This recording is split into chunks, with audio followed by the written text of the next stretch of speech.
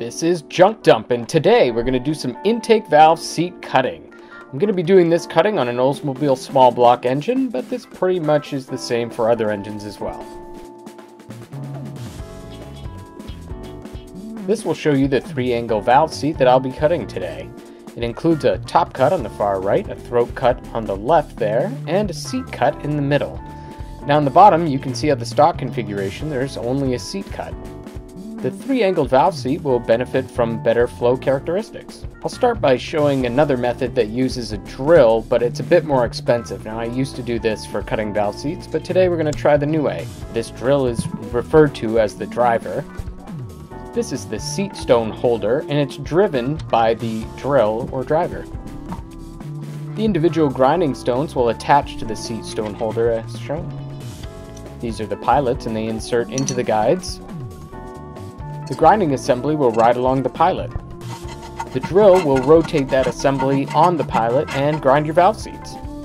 The technique I'll demonstrate today uses the Neway cutters. This is the pilot that the Neway cutters use. And this is installing the pilot and we want to make sure that that collar never rests against the guide.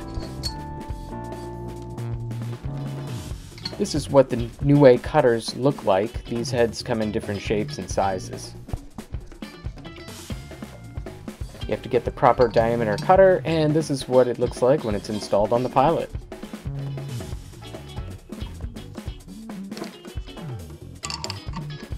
The first cut that you should make is the 60 degree throat cut.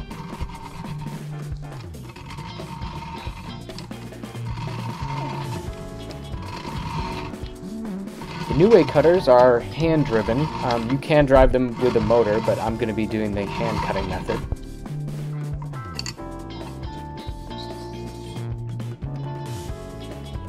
And today I'll be removing more material than I regularly would, as this is going to be for new angles and larger valves.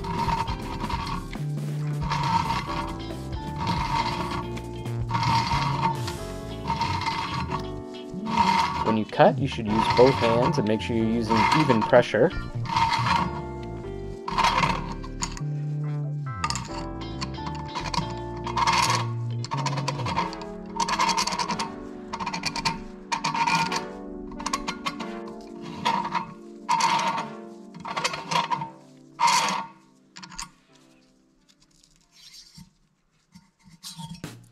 The second cut you want to make is the top cut, and this is typically 15 or 30 degrees depending on if you're working on the intake or the exhaust seat.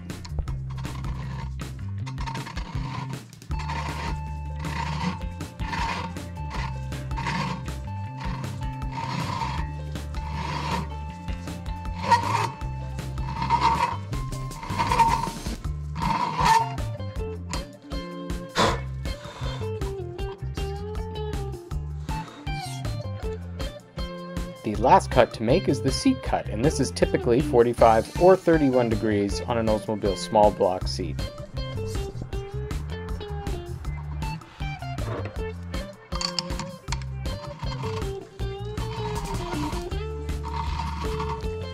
You can use cutting fluid when you're making these cuts, but do not use oil-based cutting fluids.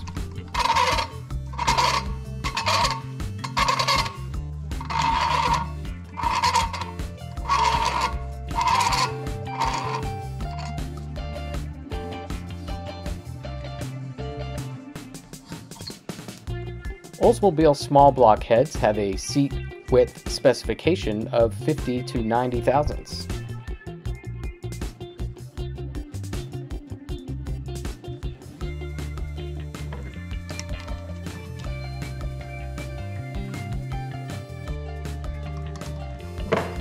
Seat width here measures about 60 thousandths.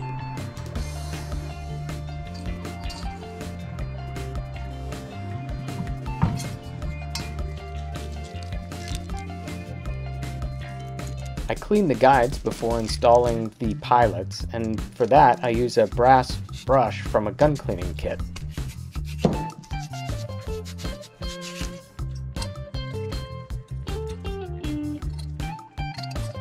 And here again is that beginning throat cut.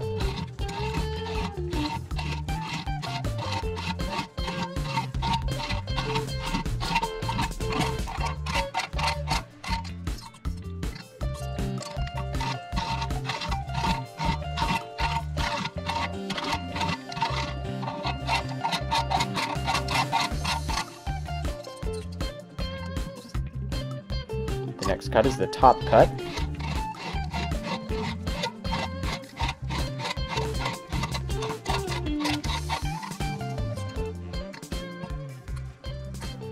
And lastly, the seat cut.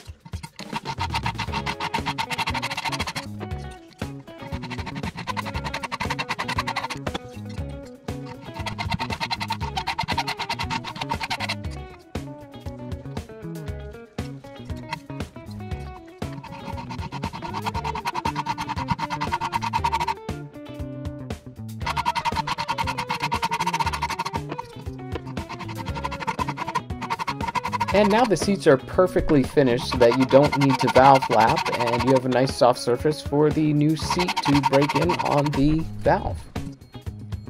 Here's that picture again of the three angle valve seat. You can see again, that's our top cut, our throat cut at the bottom, and the seat cut in the middle.